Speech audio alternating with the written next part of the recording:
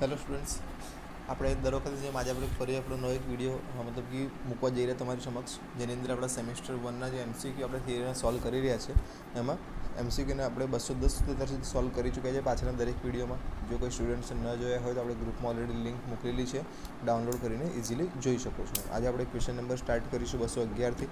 As it is દર વખતે કહું છું એ પ્રમાણે તમારી પાસે બુક્સ તમારી થિયરીની બંને સેમિસ્ટરની અને તમારો જે આપણે અસાઇનમેન્ટની જે પેમ્પલેટ છે એ તમારી પાસે હાર્ડ કોપીમાં હોય એટલું સારામાં સારું. ચલો, આપણે જે સ્ટાર્ટ કરીશું, આપણે બસો અગિયાર નંબરના ક્વેશ્ચનની વાત કરીએ. જુઓ, શું આપેલું છે? What is the purpose what શું આપેલું છે એની અંદર? વોટ ઇઝ ધ પર્પઝ હવે હોલમાર્ક એઝ અ એક્સ એટલે કે આ કોઈ સીટ છે. સમજો. આ જે છે, શું છે, કોઈ સીટ છે, આ સીટમાંથી એને બેન્ડ કરીને આવો ડબ્બો અથવા આવો તો સ્ક્વેર શેપ બનાવવાનો છે. તો એમાં આ જે હોલ આપેલું છે એક્સ માર્ક તરીકે, એનો પર્પઝ આપણને પૂછેલો છે. જો આપણે એને ચોપડીના રીઝનથી ના જોઈને ડાયરેક્ટ આપણે એને ટેકનિકલી મગજથી જોવા જઈએ તો શું થશે એની અંદર?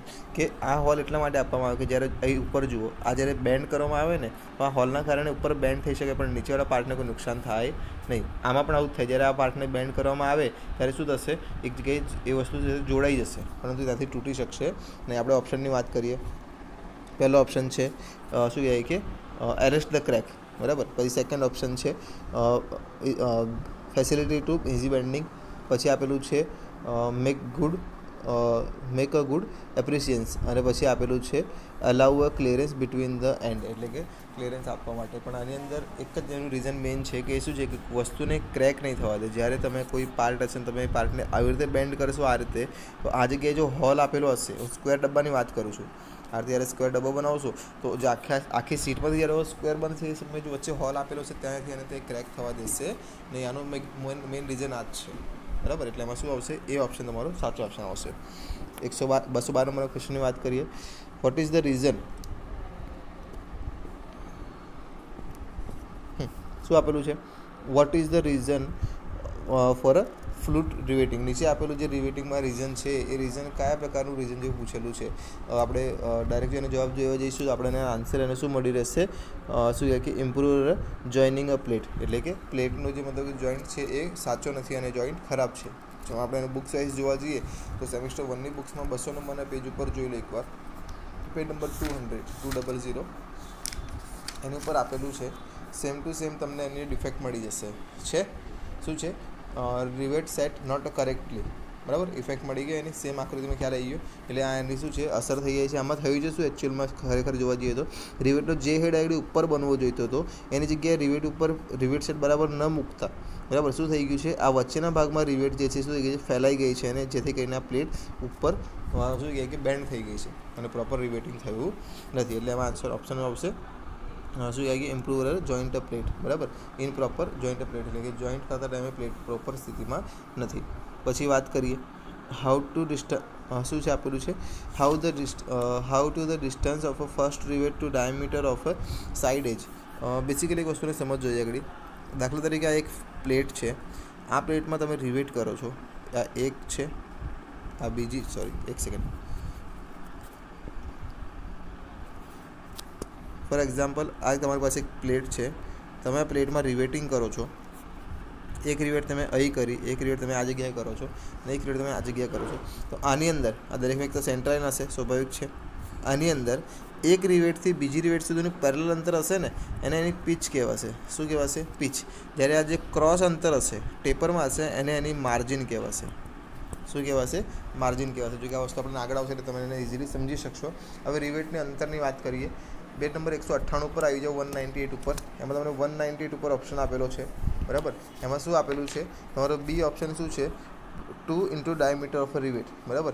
ખૂબ અંતર, આ આખું વાંચેલું છે, પહેલાં તમને ખ્યાલ આવી જશે કે રિવેટને બે વચ્ચેની અંતરને તેનું પીચ કહેવામાં આવે છે. બે રિવેટનું સેન્ટર ઓછામાં ઓછું વ્યાસથી ત્રણ ગણું ન હોવું જોઈએ અને અંતના છેડે ઇન્ટરફિરિયન્સ સહેલાઈથી ટ્રાય કરી શકાય અને રિવેટ ઓછું હશે તો શું થશે? રિવેટમાં ઘસારો પેદા કરશે અને ધાતુ અંતમ જે પીચ છે કેટલી, ચોવીસ ગણથી વધુ હોવી જોઈએ નહીં. એટલે આ જે રિવેટ છે એનો વ્યાસ કેટલો થઈ જશે? બમણો થઈ જશે. બરાબર? આગળ વાત કરીએ. ક્વેશ્ચન નંબર બસો ને ચૌદની વાત કરીએ. શું આપેલું છે બસો ચૌદ નંબરના ક્વેશ્ચનમાં what is the mark as a part as X in hand shearing machine આપણને હેન્ડ શિયરિંગ મશીન એક પૂછેલું છે. આકૃતિ બતાવી છે. બુક્સમાં એકસો ચોસઠ નંબરનું પેજ શોધી લો. અને આપણે આકૃતિમાં પૂછી લઈએ કે જોઈ લઈએ શું ભાગ આપણને દર્શાવેલો છે એક્સ તરીકે. જોઈ લઈએ એક સેકન્ડ એને. બરાબર? તો આપણને ખ્યાલ આવી જશે. યસ આ એક પાર્ટ આપણને પૂછેલો છે. બરાબર? જો આ હેન્ડ શિયર છે બસો ચૌદ નંબરના ક્વેશ્ચનની વાત કરું છું. બુક્સમાં પેજ નંબર એકસો ને ચોસઠ તમે શોધી લો. એકસો ચોસઠ નંબરના પેજ ઉપર સેમ ટોપિક અને સેમ શિયરિંગ મશીન આપેલું છે. ઉપરવાળો જે ભાગ છે તો દેશે અપર બ્લેડ થઈ જશે, બરાબર? આ જે નીચેવાળો પોર્શન છે એ લોઅર બ્લેડ છે. આ જે છે ઉપર જે, આ ભાગ જે હેન્ડલ જે હોય છે એને લીવર આર્મ કહેવાય છે. આ જે વચ્ચે વચ્ચે ડિસ્ટન્સ રાખે છે એને શું કહેવાય છે? ક્લેમ્પ કહેવાય છે? આપણો જે સાચો જવાબ છે શું થશે? અપર બ્લેડ આપણો સાચો જવાબ કહેવાશે આમાં.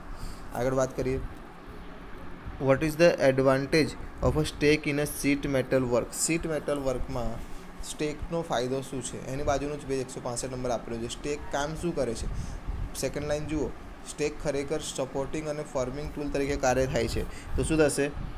શું આન્સર આવશે એની અંદર? ઓપ્શન જોયા પ્રમાણે શું આવશે? સપોર્ટિંગ બરાબર? શિયર શાર્પનિંગ એટલે ધાર લગાવી એટલે કે એને મતલબ કે રિશાર્પ કરવું થઈ જાય. પછી આપણે વાત કરીએ rest of piece rest of pieces એટલે ટુકડામાં કાપવું થઈ જાય એ પણ નહીં થાય અને ઉપકરણ નુકસાનથી બચાવવા માટે, એટલે કે જોબને નુકસાન કરવાથી બચાવવા માટે બધું નથી. પણ આનું મેઇન કામ જે છે શું છે? સપોર્ટિંગનું કામ એનું મુખ્ય છે. પછી વાત કરીએ આપણે બસો સોળ નંબરના ક્વેશ્ચનમાં what is the tool is a mark as a X in a riveting tool riveting જે સિસ્ટમ છે રિવેટિંગમાં એક્સ તરીકે દર્શાવેલો જે આ ભાગ છે એ ભાગ શું છે? બુક્સમાં આવી જાઓ, page number one ninety two ઉપર કોકિંગ ટૂલ આપેલું હશે. તમને કોકિંગ ટૂલનો ઉપયોગ ખબર હોવો જોઈએ. કોકિંગ ટૂલ ફુલરિંગ ટૂલ બે એવા ટૂલ છે, જેમાં બહુ ઝાઝો ડિફરન્સ નથી અને બંનેમાં આકૃતિમાં પણ ડિફરન્સ નથી. તમે જ્યારે પેજ નંબર એકસો બાણું જોતા હશો, તો તમને વસ્તુ ઇઝી ખબર પડશે કે આઠ નંબરના ટોપિકમાં કોકિંગ ટૂલ આપેલું છે.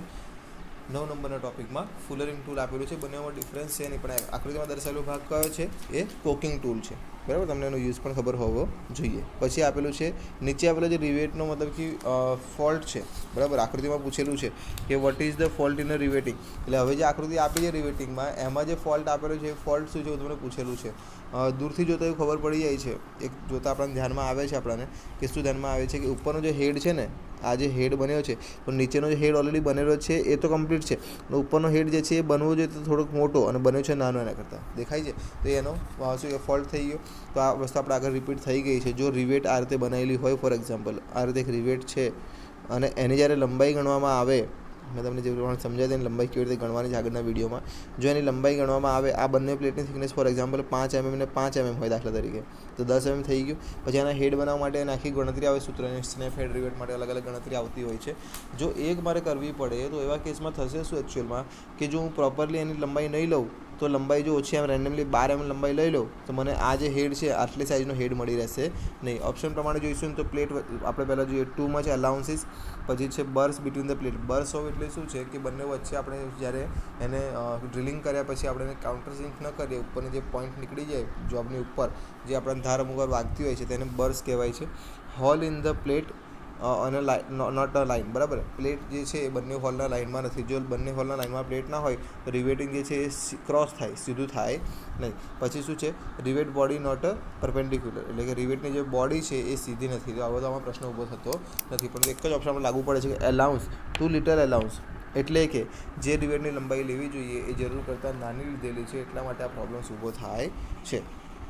આગળ વાત કરીએ બસો અઢાર નંબરના ક્વેશ્ચનની which tool is a use which tool is used to make a fluid joint, which tool is make a fluid joint or rivet edge એટલે કે રિવેટિંગ એજ કરતા સમયે ફ્લુડ ટાઈટ જેવો જોઈન્ટ બનાવવા માટે ફ્લુઇડ એટલે કે લિક્વિડ ટાઈટ જેની અંદરથી ઉપર લિક્વિડ પણ નાખો અથવા પ્રવાહી સ્વરૂપે પણ વસ્તુ નાખવામાં આવે, તો પણ તે સીટના જોઈન્ટમાંથી આરપાર નીકળી શકતી નથી. તો આના માટે જે છે, કયા ટૂલનો ઉપયોગ કરવામાં આવે છે? આપણને પૂછેલું છે. Page number one nine one ninety two કાઢી લો વન નાઇન્ટી ટુની અંદર ફુલરિંગ ટૂલ તમને થોડે પહેલાં જ મેં સમજાવ્યું હતું કે આ બંને ટૂલના ઉપયોગ તમારે યાદ રાખવાના છે. ફુલરિંગ ટૂલમાં જુઓ, ફુલરિંગ ટૂલમાં તમને છેલ્લેથી ત્રીજી લાઈન આપેલી છે. ફુલરિંગ દ્વારા ખૂબ જ સારો ફ્લુડ ટાઈટ જોઈન્ટ ફ્લુડ એટલે લિક્વિડ ટાઈટ જોઈન્ટ બને છે અને કોકિંગ ટૂલના પ્લેટના જાડાઈ કરતાં વધારે ટૂલની જાડાઈ હોય છે. એટલે આમાં શું આવશે? કયો ટૂલ આવશે એની અંદર? ફુલરિંગ ટૂલ આવશે. કયું આવશે? ફુલરિંગ ટૂલ, એનો જવાબ સાચો આવશે. વાત કરીએ બસો ઓગણીસ નંબરના ક્વેશ્ચનની. Why the allowance is required while making a various type of a hems and seams એટલે કે હેમ અને સીમ બનાવતા સમયે અલગ અલગ પ્રકારના એલાઉન્સીસ કેમ આપવામાં આવે છે? હેમ અને સીમ શું એટલે તમારે સમજવું પડશે. સીટ મેટલની અંદર જે જોઈન્ટ બનાવવામાં આવે છે સીટ મેટલમાં જે જોઈન્ટ બનાવવામાં આવે છે, એ જોઈન્ટને હેમ અને સીમ હેમ અથવા તો એને સીમ કહેવામાં આવે છે. હું તમને બુક્સમાં સમજાવું, તમને એક્ઝેક્ટ ખ્યાલ આવશે. બુક્સની અંદર એક કામ કરો, તમારી બુક્સમાં પેજ નંબર જે છે સીટ મેટલ જોઈન્ટનો ટોપિક આપેલો છે પેજ નંબર વન સેવન્ટી ઉપર. બરાબર? એમાં વન સેવન્ટીમાં પહેલો ટોપિક નોટ છે, એ ટોપિક છોડ દો. એના પછીનું પાછળનું પેજ પલટાવો. એકસો બોતેર નંબરના પેજ ઉપર આવો. હેમ આપેલું છે. પાતળા ગેજની સીટમાંથી બનાવેલ તીક્ષ્ણ વસ્તુને ધારવાળી વસ્તુનું હેન્ડલિંગ અસલામત છે આથી ધારોને સલામત બનાવવા માટે વસ્તુનો સારો દેખાવ કરવા માટે તેને શું કરવામાં આવે છે? ફોલ્ડિંગ કરવામાં આવે છે. આ મતલબ એનો યુઝ તમને સમજાયેલો છે. જ્યારે આપણે એને બુક્સમાં જ્યારે આપણે એના ઓપ્શન પ્રમાણે જોઈશું, સાચા જવાબ તરીકે આપણો ડી ઓપ્શન જુઓ. શું છે? પ્રોપર આકાર અને તાકાત બને રાખવા માટે. બરાબર? તમે એને જો સીમમાં જોઈએ ને, તો એને તમને સમજાવું કે શું કહેવાય? ફોલ્ડિંગ કેમ કરવામાં એની આપણે વાત કરીએ. પેજ નંબર એકસો ને ચુમ્મોતેર ઉપર આવી જાઓ. એકસો ચુમ્મોતેર ઉપર છે આપણને જો આકૃતિ બતાવેલી છે. ગળની ટાઈપ આકૃતિ છે શંકુ આકારમાં, બરાબર? અને બાજુમાં ઝૂમ કરીને જે છે મોટો કરીને શેપ બતાવે એટલે એવું પૂછેલું છે કે ઘણીવાર શું થાય છે કે કોઈ સીટ મેટલ હોય ને દાખલા તરીકે, આ સીટ મેટલ છે કોઈ પ્રકારની, બરાબર? તો આ સીટ મેટલ આપણે ઘણીવાર શું કરીએ છીએ કે આવી રીતે છે ને આમ કરીને આપણે બેન્ડ કરી દઈએ છીએ. આ બેન્ડ કેમ કરી છે? સારો દેખાવ મળે એ તો ખરું જ, પણ આનાથી છે ને એની મજબૂતાઈ વધી જાય છે અને બેન્ડ થવા દેશે નહીં સીટની જે સીટ માટે બહુ પાતળી આવે એટલે શું છે? એને મેન્ટેન અ કરેક્ટ સાઇઝ અને ઇન ઇમ્પ્રુવર સ્ટ્રેન્થ એટલે કે સ્ટ્રેન્થમાં વધારો કરવા માટે અને પ્રોપર સાઇઝમાં મેન્ટેન કરી રાખવા માટે એમાં અલગ અલગ હેમ અને સીમ આપવામાં આવે છે. બસો વીસ નંબરના ક્વેશ્ચનની વાત કરીએ. With sheet metal is easiest to joint to shoulder એટલે કે શીટ મેટલમાં શોલ્ડરિંગ કરવા સમયે સારાથી સારામાં સારું જોઈન્ટ શેમાં મળી આવે છે? Books number one fifty seven કાઢો. બુક્સમાં page number one fifty seven કાઢી આપો. એની અંદર આપણે પહેલો જ ઓપ્શન આપેલો છે ટીન પ્લેટ અને આમ આપણે ટીન પ્લેટની વાત કરીએ. એમાં ટીન પ્લેટમાં જો શું આપેલું છે, ત્રીજી લાઇનમાં આપેલું છે. કારણ કે તેના દ્વારા ધાતુને સહેલાઈપૂર્વક સોલ્ડરિંગ કરી શકાય છે. તે ચળકતું સિલ્વર કલર ધરાવે છે અને છાપરું, ફ્રૂટ કન્ટેનર વગેરેમાં તેનો ઉપયોગ કરવામાં આવે છે. એટલે શું આવશે? ટીન સીટનું જે સોલ્ડરિંગ છે એ સૌથી ઇઝી કહેવાય છે. આગળ આપણે વાત કરીએ નેક્સ્ટમાં. નેક્સ્ટની અંદર આપણે આપેલું છે બસો એકવીસ નંબરનો ક્વેશ્ચન જુઓ. એમાં શું આપેલું છે આપણને? Which metal is a very soft and heavy in a sheet metal work એ જ પેજ ઉપર રહો. એની નીચેની સીટ જોઈ લો. સેવન નંબર પર લીડ સીટ લીડ સીટ એ ઘણું સોફ્ટ અને ભારે છે. ક્વેશ્ચન આપણાને પૂછેલો છે which sheet is a soft and lead soft and heavy એટલે કે એમ તો નરમ હોય છે. એકદમ શું કે એકદમ બહુ સખત હોતી નથી. એકદમ સોફ્ટ હોય છે. એલ્યુમિનિયમ જેવી એકદમ નરમ સીટ હોય છે. પરંતુ તેનું વજન જે છે, અત્યંત વધારે હોય છે. એવી સીટ કઈ છે? લીડ સીટ અને આ સીટનો ઉપયોગ સાત નંબરના ચોપડીમાં આપેલું છે ને, એકસો સત્તાવન નંબરના પેજ ઉપર. લીડ સીટમાં આ સીટનું આ લીડ એ ઘણું સોફ્ટ અને ભારે છે. લીડ સીટનો ઉપયોગ પણ તમને ખબર હોવો જોઈએ. શેનામાં છે? કોરોઝિવ શું કે વધારે કોરોઝિવ એસિડ બનાવવા માટે વપરાય છે. એટલે કે જે બહુ વધારે હાઈલી મતલબ કે એસિડ હોય છે હાઇડ્રોસલ્ફર છે સલ્ફ્યુરિક એસિડ છે, એવા જે એસિડ હોય છે જે એસિડ શરીરને નુકસાન પહોંચાડે છે, એવા જે એસિડ છે એનું પરિવહન કરવા માટે એને લઈ જવા માટે જે કન્ટેનર બનતા હોય છે, કઈ સીટમાંથી બનતા હોય છે લેડની સીટમાંથી બનતા હોય છે, કેમ કે એ એસિડ એ સીટને ઓગાળી શકતા નથી. બાકી સામાન્ય સીટ એસિડ શું થઈ જાય છે? ઓગળી જાય છે. ખ્યાલ આવી ગયો? એટલે આની અંદર શું આવશે તમારું? કઈ સીટ આવશે? લીડ સીટ આવશે, બરાબર? એ ઓપ્શન આવશે. બસો બાવીસ નંબરના ક્વેશ્ચનની વાત કરીએ. With sheet metal is without a stand contact with a wear and expense expose weather એટલે કે શું કે વાતાવરણ સામે સારામાં સારું રક્ષણ આપતી જે સીટ છે, તો એ સીટનું નામ આપણાને પૂછેલું છે. બુક્સની અંદર આપણે વાત કરીએ. એની અંદર આપણાને શું કહેવાય કે ગેલ્વેનાઇઝ આયરનની બે નંબરમાં સીટ આપેલી છે.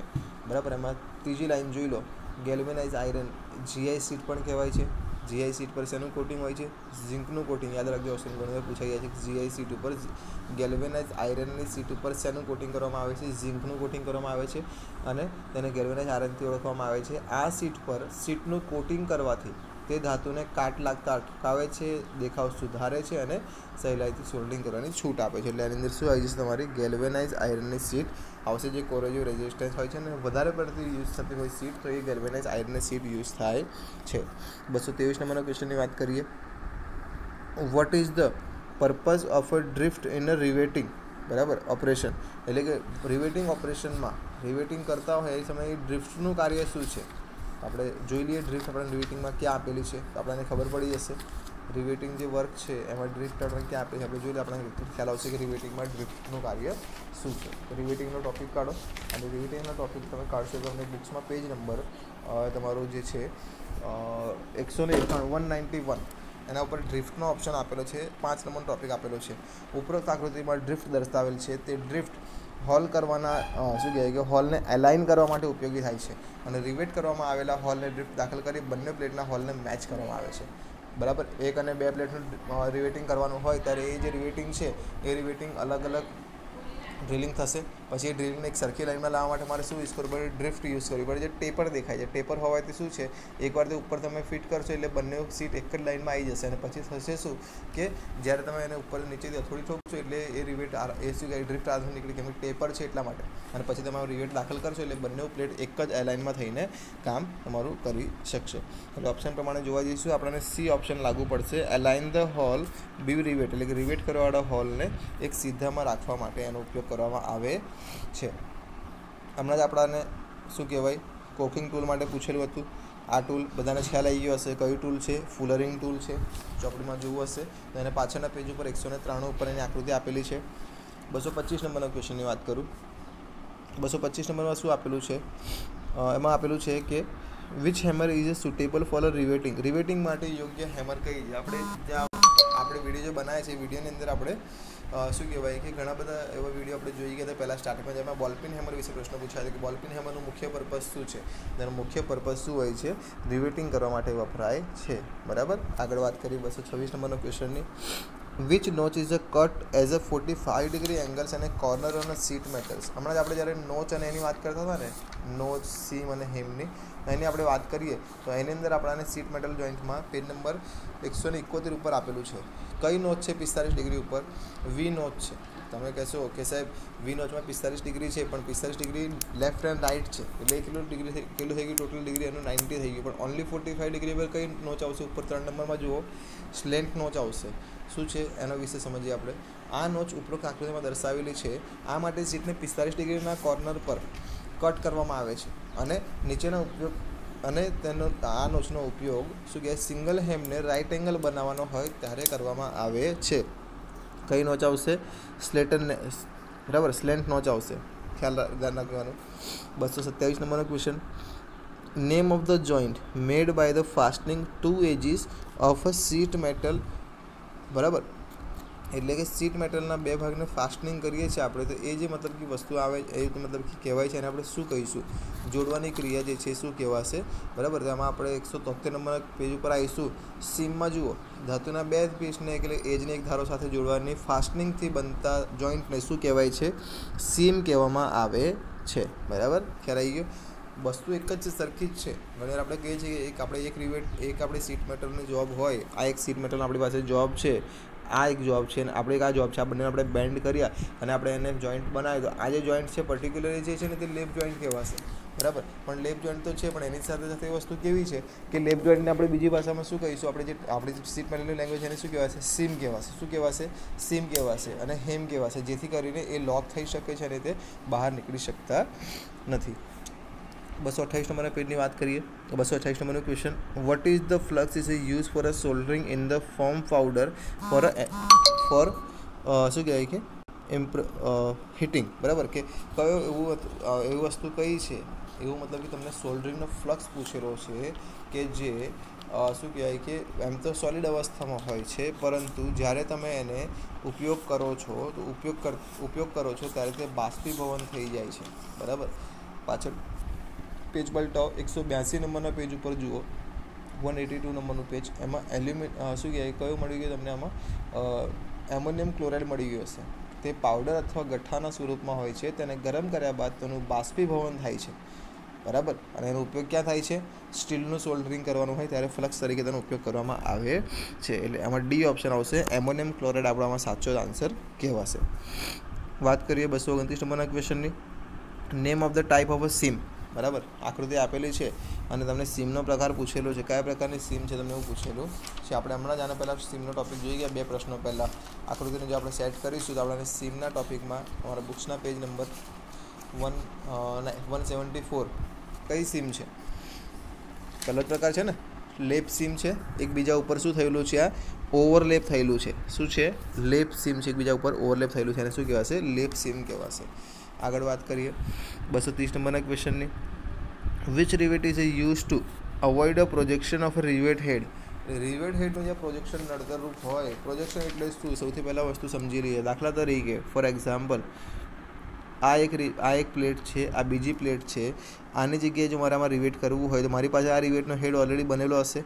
જ્યારે હું એ હેડને બીજી વાર બનાવીશ તો આ થઈ ગયો એટલે બંનેનો શેપ સરખો થઈ ગયો. પરંતુ જો આની ઉપર, આ જે પ્લેટ છે, દાખલા આમ લાંબી પ્લેટ છે ફોર એક્ઝામ્પલ તો આના ઉપર જ્યારે કોઈ વસ્તુ સ્લાઇડ કરે અથવા કોઈ બીજો પાર્ટ મૂકવામાં આવશે, તો મારો આ જે હેડ છે એ મને નડશે. તો આના માટે મારે શું કરવું પડે? એક એવી રિવેટ લેવી પડે કે જે આ બે પ્લેટ હોય છે આમાં, જેમાં એક જે હેડ છે એ તો ભલે આ રીતનો રહ્યો, વાંધો નથી, પણ બીજો જે હેડ છે, એ હેડ આ રીતના સરફેસના લેવલમાં જ રહી જાય. નામ કદાચ બધાને મોઢા પર આવી ગયું હશે. કાઉન્ટર સિંક હેડ રિવેટ શું કહેવાશે? કાઉન્ટર સિંક હેડ રિવેટ બુક્સમાં જોઈશું. વન એટી સેવન નંબરનું પેજ કાઉન્ટર સિંક હેડ રિવેટની આકૃતિ તમને મળી ગઈ હશે. આકૃતિની સાથે સાથે તમને એમાં શું કહેવાય? એમાં સેકન્ડ લાઈન જુઓ. જ્યાં રિવેટના હેડનું પ્રોજેક્શન અગત્યનું ના હોય ત્યાં આ રિવેટનો ઉપયોગ કરવામાં આવે છે. એટલે એમાં કઈ રિવેટ આવશે? તમારી કાઉન્ટર સિંક હેડ રિવેટ આવશે. મળી ગયું. આગળ વાત કરીએ. આ શું છે? બસો એકત્રીસ નંબરનો ક્વેશ્ચન આપણને આપેલો છે. What is the minimum distance between the rivet to avoid a શું કહેવાય? બકિંગ બકિંગ કેવું ઓપરેશન છે એકચ્યુઅલમાં કે આ એક આ એક તમારી પ્લેટ છે. એની જોડે તમે બીજી આ પ્લેટ જોઈન્ટ કરી. તમે આને રિવેટિંગ કરો છો. જ્યારે સોરી તમે એને રિવેટિંગ કરો છો ફોર એક્ઝામ્પલ જે સમયે એક રિવેટ તમે આ જગ્યાએ મૂકી, એક રિવેટ તમે આ જગ્યાએ મૂકી, આવા સમયે પ્રોબ્લેમ શું થશે કે આ રિવેટનો હેડ ઓલરેડી આ હેડ અત્યારે બને તમે જ્યારે બીજો હેડ બનાવશો ને, તો પ્રોબ્લેમ શું થશે? જો આનું સેન્ટર આ બંને જે સેન્ટર છે, એ થ્રી ડી ત્રણ ગુણ્યા diameter D is equal to શું છે? રિવેટનો વ્યાસ છે. રિવેટનો શું છે? વ્યાસ છે diameter of rivet D is equal to diameter of rivet છે. જો થ્રી ડી કરતાં વધારે હશે, તો આ બંને પ્લેટ વચ્ચે શું થઈ જશે? ગેપ પડી જશે. બંને પ્લેટો વચ્ચે શું થઈ જશે? શું કહેવાય? વચ્ચે ગેપ દેખાશે. અને આ પ્રક્રિયાને શું કહેવાય છે? બકિંગ કહેવાય છે. શું કહેવાય છે? બકિંગ. એટલે બકિંગથી બચવા માટે કેટલું ડિસ્ટન્સ રાખવામાં આવે છે? દર વખતે થ્રી ઇન્ટુ ડી ત્રણ ગુણ્યા ડી એનું ડિસ્ટન્સ રાખવામાં આવે છે. નેક્સ્ટમાં આપણે વાત કરીએ. એના પછીના જે આપણે ક્વેશ્ચન આપેલા છે એની, બરાબર? એના પછીના ક્વેશ્ચન્સ છે આપણે ઓલમોસ્ટ બધા છે સેમિસ્ટર ટુમાં જ મળી એટલે સેમિસ્ટર ટુની બુક લઈ લો. સેમિસ્ટર ટુની અંદર સેમિસ્ટર ટુની અંદર ક્વેશ્ચન છે તમારો. Which type of filler rod is use as in a gas welding or a stainless steel એટલે કે ગેસ વેલ્ડિંગ અને સ્ટેનલેસ સ્ટીલનું તમારે વેલ્ડિંગ કરવું હોય તો કયા પ્રકારના ફિલર રોડનો ઉપયોગ કરવામાં આવે વેલ્ડિંગના લગતા ક્વેશ્ચન્સ છે. થોડું ઉતાવળ રાખજો. બુક્સમાં પેજ નંબર ત્રીસ લઈ લો. એમાં તમને મળી ગયું હશે શું કે આખી મતલબ એક બ્રેકેટ આપેલું છે ફિલર રોડના પ્રકાર. એમાં જુઓ ક્રોમિયમ સ્ટેનલેસ સ્ટીલ આપેલું છે, બરાબર? તો એમાં શું આવશે તમારો જે આન્સર છે, એ શું આવશે? એ જે આન્સર છે એની અંદર, એમાં તમારો સી ઓપ્શન આવશે સ્ટેનલેસ સ્ટીલ કેમ કે આમાં કોલોમિયમ સ્ટેનલેસ સ્ટીલ છે, એ આખું ક્રોમિયમ સ્ટેનલેસ સ્ટીલ હોઈ શકે છે, કદાચ લખવામાં ભૂલ બની શકે એ વસ્તુ શક્ય છે, બાકી બધા સ્ટેનલેસ સ્ટીલના પ્રકાર નથી. બસો તેત્રીસ number what is the welding defects વેલ્ડિંગના ડિફેક્ટનું નામ શું છે? જો ધ્યાનથી જોશો ને, તો આ જોઈન્ટ કર્યું છે ખરું? આ વેલ્ડિંગ છે, પરંતુ આ પૂરેપૂરા એન્ડ સુધી જતું નથી. આમાં પણ વેલ્ડિંગ થાય છે, પણ નીચે સુધી જોઈન્ટ સુધી પહોંચતું નથી. એટલે આપણે વેલ્ડિંગ ડિફેક્ટ્સનો પ્રકાર પૂછેલો છે. પેજ નંબર ફોર્ટી ફોર ઉપર જઈશું. ફોર્ટી ફોર નંબરના પેજ ઉપર સેમ આપણાને આપેલું છે. શું કે ઇનકમ્પ્લીટ પેનિટ્રેશન્સ શું આપેલું છે? ઇનકમ્પ્લીટ પેનિટ્રેશન ઓપ્શન ડી મળી ગયું બધાને બુક્સમાં બરાબર? પેજ નંબર ફોર્ટી ફોર ઉપર સેમિસ્ટર ટુની વાત કરું છું. Question number two thirty four બસો ચોત્રીસ નંબરનો question what is the case if the nozzle nozzle touch the molten pool એટલે કે મોલ્ટેન પોલ ઉપર જો નોઝલ ટચ થશે, તો શું મતલબ કે લાગુ પડશે? આપણે આ વાત કરીએ વેલ્ડિંગની વાત કરી રહ્યા છીએ. તો આની અંદર શું થશે? દાખલા તરીકે કોઈ પદાર્થ છે, તમે એને વેલ્ડિંગ દ્વારા શું તમે એને ગેસ કટિંગ દ્વારા તમે કાપવાનો પ્રયત્ન કરશો અને જો એક સાથે ત્યાં ટચ થઈ જશે ને તમે એને જો ક્લિયરન્સ નહીં આપો વચ્ચે, આના વચ્ચે, આ જે ગેપ હોય છે, આના વચ્ચે અને આ જે નોઝલ છે, આના વચ્ચે એટલીસ્ટ પાંચ એમની ગેપ હોવી જોઈએ. જો તમે ગેપ ના આપો તો છે ગેસ પ્રેશરથી પાછી આવશે અને એ પરિસ્થિતિને બેક ફાયર કહેવાય છે. બેક ફાયર એટલે કે પાછી ફાયર થશે. એને બેક ફાયર કહેવામાં આવે છે. ક્વેશ્ચન નંબર ટુ થર્ટી ફાઇવની વાત કરીએ, બસો પાંત્રીસ નંબરનો question name of the joint in arc welding બરાબર? આર્ક વેલ્ડિંગમાં જે જોઈન્ટ બતાવેલો છે જોઈન્ટનું નામ તમને પૂછેલું છે. બુક્સની અંદર આપણે જો શોધીશું તો આપણને આપણા પેજ નંબર ફોર્ટી ટુ ઉપર મળી રહેશે. ત્રણ પેજ પાછળ પલટાવો એની અંદર જુઓ સેકન્ડ નંબરમાં મળી ગયું. હાફ ઓપન કોર્નર જોઈન્ટ એટલે શું છે? ઓપન કોર્નર જોઈન્ટ એના પછી ફૂલ કોર્નર જોઈન્ટનો મતલબ શું છે? કે પહેલાંમાં તો શું છે કે ભાઈ દાખલા તરીકે આ એક પ્લેટ છે. અને આની ઉપર જોઈન્ટ કર્યું તો આવી રીતે કમ્પ્લીટ જ અને ધાર પર મૂકીને કમ્પ્લીટ રાઇટ એંગલ જો બનાવી દેવામાં પણ પેલું પેલું જે ફૂલ પેનિટ્રેશન છે ફૂલ જે જોઈન્ટ છે એમાં શું થશે કે કોર્નર ટુ કોર્નર તો આ જે ભાગ છે આમાં શું ભરાઈ જાય? વેલ્ડિંગ ભરાઈ શકે છે. તો આપણો આ જે પ્રકાર છે, આવ્યો છે, એટલે કયો થશે આમાં? હાફ ઓપન કોર્નર જોઈન્ટ થશે બુક્સની અંદર. શું કહેવાય તમને? બેતાલીસ નંબરના પેજ ઉપર આપેલું છે. આગળ વાત કરીએ બસો છત્રીસ નંબરના ક્વેશ્ચનની what is the function of a AC welding transformer AC welding ટ્રાન્સફોર્મરનું કાર્ય શું છે? આપણે બુક્સમાં શોધીશું ને આપણાને નજીકમાં જ, એટલે કે આપણાને છઠ્ઠા પેજ ઉપર વસ્તુ આપેલી છે. એસી વેલ્ડિંગ ટ્રાન્સફોર્મર આપેલું છે. એની અંદર જો AC welding transformer high voltage અને ઓછો લો કરંટ ધરાવે છે અને એસી વેલ્ડિંગ સપ્લાય ઊંચો કરંટ અને ઓછા કરંટ વોલ્ટેજ ધરાવે છે. એનો યુઝ આપણને આપેલો છે. એટલે આપણે બુક્સના અકોર્ડિંગ અને ઓપ્શન અકોર્ડિંગ જઈશું. આપણને એ ઓપ્શન લાગુ પડશે. શું છે? એને કન્વર્ટર લો વોલ્ટેજ એને હાઈ કરંટ એમ્પિયર બરાબર? આગળ વાત કરીએ બસો સાડત્રીસ નંબરના ક્વેશ્ચનની what is the disadvantage of a AC welding transformer ત્યાં જ આપણને મળી રહેશે. ઉપર એનો ફાયદા અને ગેરફાયદા આપેલા છે. તે નોન ફેરસ ધાતુ શું કહેવાય કે નોન તે નોન ફેરસ ધાતુ માટે યોગ્ય અને ઇલેક્ટ્રોનના વેલ્ડિંગ માટે યોગ્ય નથી. એટલે શું થઈ જશે?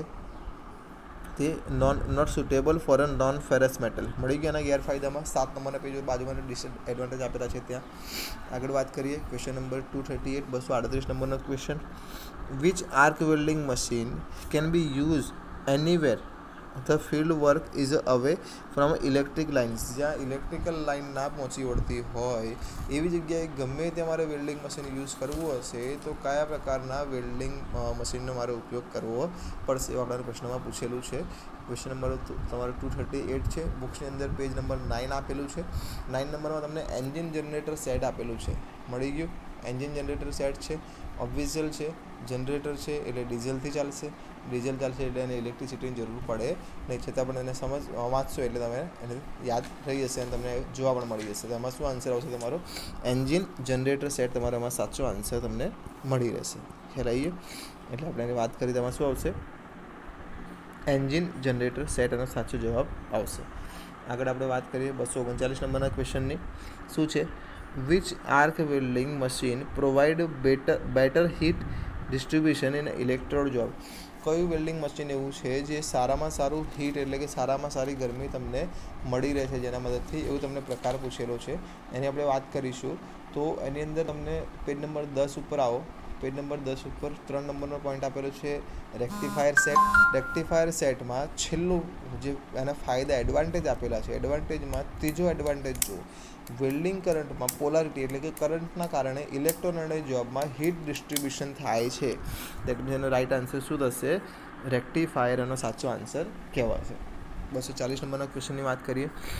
What is the colour painted અને એસિટિલિન ગેસ સિલિન્ડર એસિટિલિન જે ગેસ સિલિન્ડર છે, એના ઉપર કેવો કલર પેઇન્ટ કરવામાં આવે છે આપણને પૂછેલું છે. બુક્સમાં પેજ નંબર બાવીસ કાઢો. એસિટિલિન અને ઓક્સિજન સિલિન્ડર છે ને, એ તમને શું એ કે ઓલમોસ્ટ બહુ ફરક નથી બંને લગભગ ઇક્વલ હોય છે.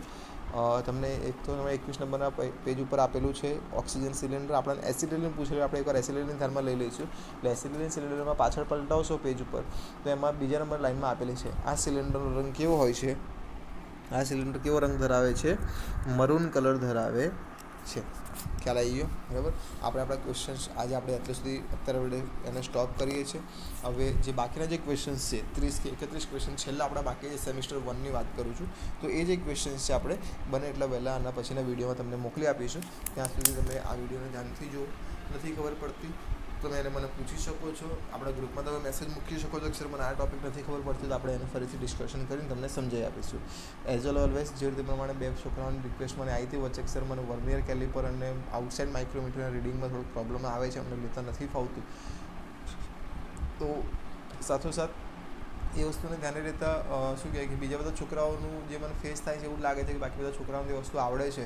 તો બેટર દેન બેટર છે પછી હું જે છોકરાઓને નથી આવડતું પછી એમને હું પર્સનલમાં મેસેજ કરીને શીખવાડું બેટર હોય બરાબર? અદરવાઇઝ દેન પ્રોબ્લેમ આવતો હોય.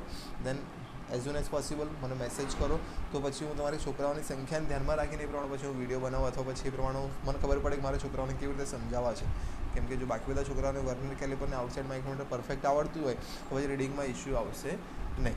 બરાબર, એ વસ્તુ ધ્યાનમાં રાખજો. આપણાને ચોપડીની અંદર જે આપણો ટોપિક છે, પહેલા વર્ષની વાત કરું છું. એમાં vernier caliper, outside micrometer vernier bevel protractor, બરાબર ડાયલ કેલિપર, એવા બધા મેજરિંગ ઇન્સ્ટ્રુમેન્ટ્સ છે, જે મેજરિંગ ઇન્સ્ટ્રુમેન્ટના યુઝ અને એના રીડિંગ્સ તમને ખાસ ખબર હોવા જોઈએ લિસ્ટ કાઉન્ટ પણ ખબર હોવું જોઈએ. આ બધી વસ્તુ તમારે સામાન્ય રીતે યાદ રાખવાની રહેશે. એટલે જો તમને પ્રોબ્લેમ હોય, તો વસ્તુ મને ગ્રુપમાં મેસેજ કરો. ઓલમોસ્ટ દરેક સ્ટુડન્ટના રિપ્લાયસ આવશે કે, હા સર અમને પ્રોબ્લેમ્સ છે. તો મને મેજોરિટી મળશે ત્યારે વસ્તુનો વીડિયો અપલોડ કરીશ. બે સ્ટુડન્ટ્સ હશે, તો પછી એમનું મારે પછી બીજી રીતે ટેકલ કરીને સમજાવીશ બરાબર? એટલે તમારી પાસે બે દિવસનો સમય છે. ત્યાં સુધી તમે મને આ વસ્તુનું રિપ્લાય આપો ગ્રુપની અંદર કે, સર, આ પ્રોબ્લેમ્સ છે. તો પછી આપણે એના પર આગળ ડિસ્કશન કરીશું. ત્યાં સુધી વિડીયોને ધ્યાનથી જુઓ. આગળના ટોપિકમાં કશું ના ખબર પડી હોય, તો એઝ તમે એને ગ્રુપમાં મેસેજ કરીને પૂછી શકશો.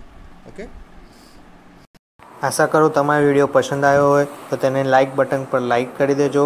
જો તમારા દોસ્તિયાર દોસ્તિયાર હોય તેના જોડે તેને શેર કરજો અને કોઈ અસમજણ યા ડિફિકલ્ટી હોય તો નીચે કોમેન્ટ બોક્સમાં કોમેન્ટ કરી દેજો. અને જો તમે અમારી ચેનલને સબસ્ક્રાઈબ ન કરી હોય તો સબસ્ક્રાઈબ કરી લેજો અને વિડીયોને જલ્દી મેળવવા માટે બેલ આઇકોન પર પ્રેસ કરી કરી અને જો તમારે વિડીયોને જલ્દી મેળવવું હોય તો તે માટે તમે ઓલ નોટિફિકેશન પર ક્લિક કરી દેજો, જેથી વીડિયો તમારે જલ્દીથી તમારે નોટિફિકેશન થ્રુ મળી રહે. આ વીડિયો સાથે ફરી મળીશું. ત્યાં સુધી સ્વસ્થ રહો, તંદુરસ્ત રહો.